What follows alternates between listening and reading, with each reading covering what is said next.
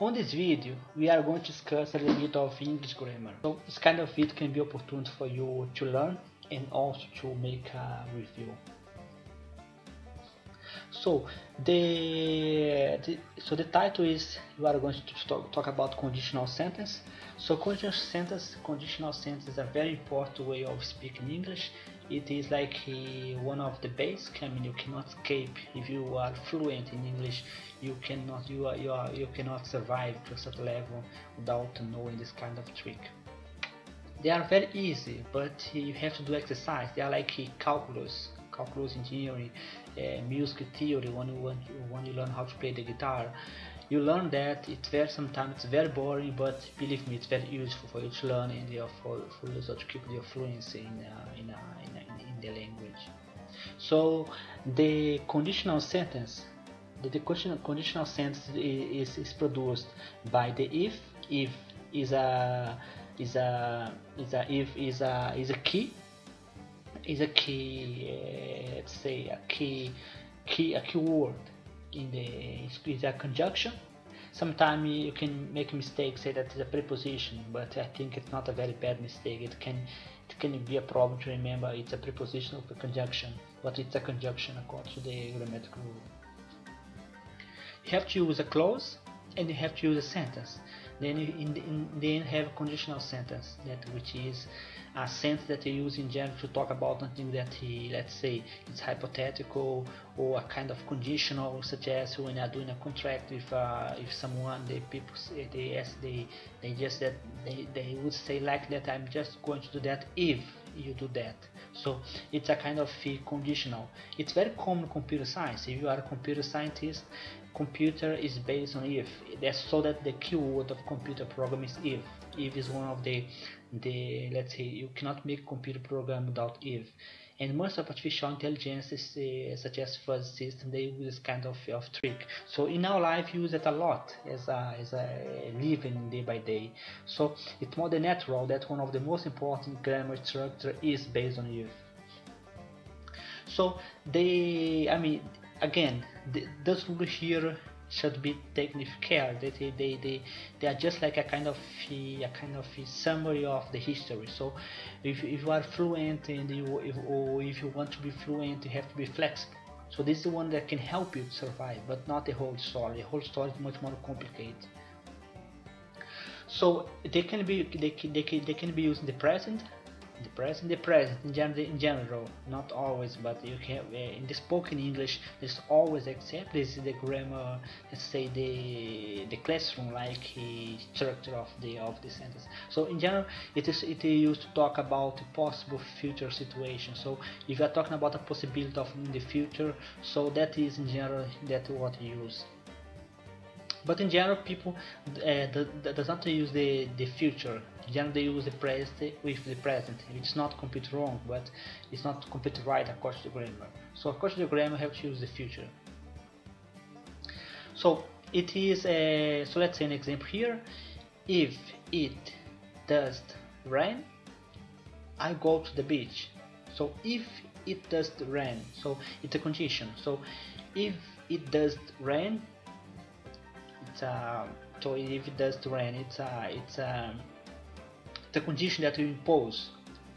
So if it rain you not go to the beach. So there the two different sense. So you can say in two ways you can say like, like this. If it does rain I go to the beach or if it were rain I will not go to the beach. So they are like a complementary supplementary of each other. They are two different sense. So all of them say the same thing. They say that eh, you you apply a condition but of course in real life it's just a computer. So if you are making an artificial intelligence computer that he uh, should avoid to go to the water it's kind of shock that you should use. But in life maybe people can decide to go to the rain. If, if it's if, if it's rain they decide to go to the beach.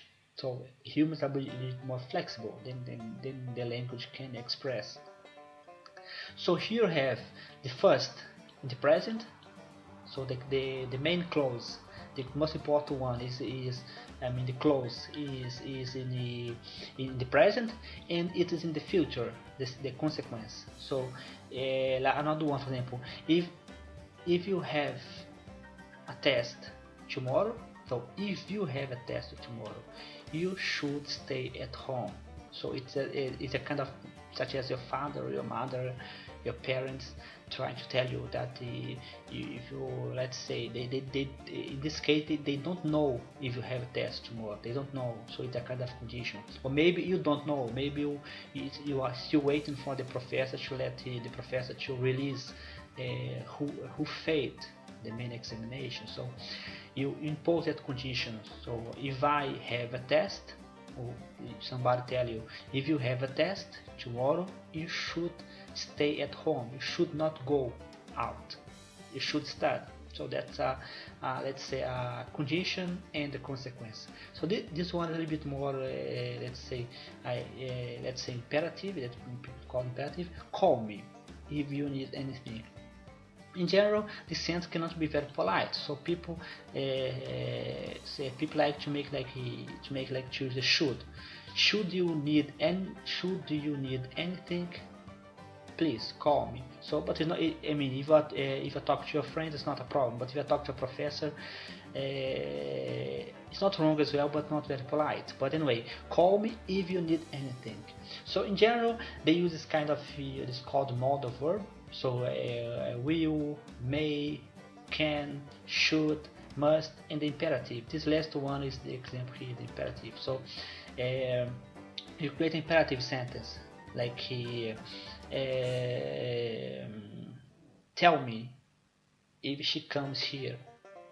Tell me if she comes here so remember that this the, uh, here is in the present. So you should conjugate the verb properly. So tell me if she comes here. Comes it there's s in the end conjugates of the verb to come. So pay attention that here you should conjugate the verb properly in the present. So you should remember the ending of the verb. You need so uh, so in, in, case she needs so we have to remember that the conjugation so that's uh, so you see that here is a little, a little bit more advanced compared to the basic one so the first one was a possibility was the present, the, the next one is in the past. So the past in general is to talk about ways that are not real, are hypothetical, they are like uh, possibilities. So if I had a car, I could give you a drive. So I don't have a car, so that's a possibility. So if I had a car, I could give you a ride. If I had a diploma, I could get a job. So that's a possibility. So in general, you apply the would, could, and might. The next one is the past. So this one was the past is the past perfect. So this one is, is quite similar. So in general, use the modal verb have. So if I had left home earlier, you wouldn't have arrived late. So this case in general used to show regret, like sadness, because uh, you arrived late because I was not able to to to, to leave early. In this case, they express impossibility, sadness. So if I had a family, I would not live on the street. If I had a friend, I would be sad. So this case here is hypothetical and as well, but has to do with uh, with uh, with uh, let's say with sadness with something that you regret that you have done that or somehow to a certain level and you regret that so that's called the, the, the another way of if so here it's just the basic. You can also find out all the sense and also in the spoken English people can decide not to use this one such as uh, this first one here as I said before people can generally use just the press. So uh, if I do, if it does rain I, I go to the beach. So I go is a present so instead of so people in general will eliminate the will so if I if it does rain I go to the beach. So it uh, in this case it, uh, in this case you want to eliminate the the will it is used a kind of law a kind of truth like every day you do so it's a kind of a decision. So you every day you go to the beach if it does if it does rain. So uh, this if here uses a kind of law a kind of law of nature, a kind of rule that you apply. So let's say uh, if if there is no lion, the zebra comes out. So the zebra always comes out. when there is no lion. So that's a kind of rule. So language can be complicated. You have to, uh, let's say, learn the, the, grammar, but at the same time have as well to have some kind of, uh, let's say, feeling of what's right or wrong. After you learn English for a while, you get the sense. Even your own language, if you not speak English as native language, stop thinking about it. You do not you, you do not learn grammar. Uh, let's say when you are very young.